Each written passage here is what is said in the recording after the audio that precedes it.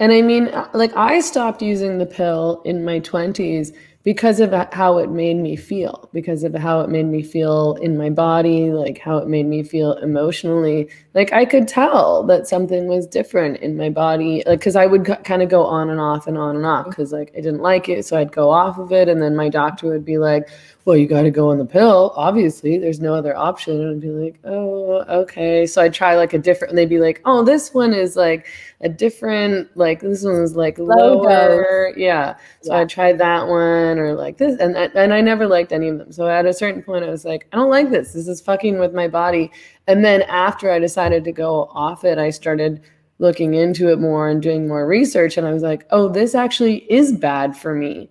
And nobody knows. Like, I talk to women now who, I mean, most women my age are not, you know, super fertile anymore. But of course, I have friends who are younger than me, um, friends who are in their late 20s, friends who are in their 30s still on still using IUDs, hormonal IUDs, mm. still taking the pill. And I'm like, why are you doing that? Like you're an adult woman, you're in a partnership, you're in a long-term relationship. Like this is mm-hmm. totally unnecessary. There's so many more effective um, safer, easier ways to do this, including withdrawal, including I like use condoms if you want to, mm-hmm. um, or you know your partner can get a vasectomy if you guys aren't planning to get pregnant.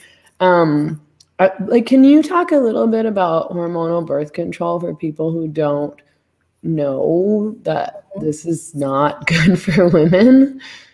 Yeah, yeah. So essentially, like the lie of hormonal birth control is that it regulates your period. That's probably the biggest like talking point that women, the, the biggest like line that that women will get when they're considering going on the pill. You know, um, so it's prescribed so young that it's not even prescribed anymore just to prevent pregnancy. So a young woman might come in, she might have um, acne, she might have really painful periods, she might have like unstable moods or um, glucose issues, insulin resistance, thyroid issues it's used as this band aid.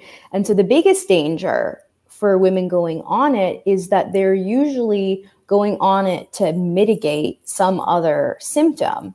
And so for the time that they're on this pharmaceutical drug, you know, not to mention all of the side effects that the actual the actual hormonal birth control has, um, there's this suppression, this long-term suppression, or however long they're on the pill, of what's actually needs to be looked at and to be healed. Mm. So the root of what's going on is rarely addressed. And so that when they come off the pill for at any point in time, all the same issues are there and worse. Mm. So um, it's a really dangerous band aid. That's how I like to think about it. So um, there was a study, I think it was done in Denmark for, um, I think it was women under 18 were like likely to be prescribed and I, I can link i have the study so i can link it somewhere if somebody wants it but um, what they saw is that women who were prescribed for, um, hormonal birth control were almost always in conjunction prescribed antidepressant medication hmm. and so and anecdotally like i know this to be true i know women who have had like psychotic like psychotic breaks um, while being on uh, hormonal birth control. So that includes um, IUDs, um, the pill, um, Depo-Provera shots, um, longer acting, what they call long acting reversible hormonal birth control. But what they don't tell you is that the damage is irreversible, right? So it doesn't necessarily you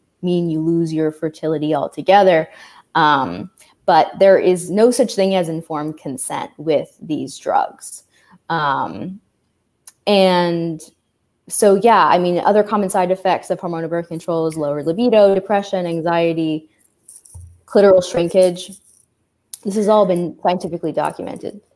Yeah, and I mean, to me, it was so ironic that one of the side effects of hormonal birth control is lower libido. And I noticed that in myself before I again did my own research and realized that that was like a known side effect of hormonal birth control because like the supposed point of being on birth control is so that you can have sex freely without worrying, but then you go on the pill and you don't want to have sex anymore. So it's really just yeah. for men. It's like so men yeah. can get their pleasure when you aren't feeling up to it, aren't feeling into it, um, and they can, you know, not worry about taking responsibility for the consequences of that.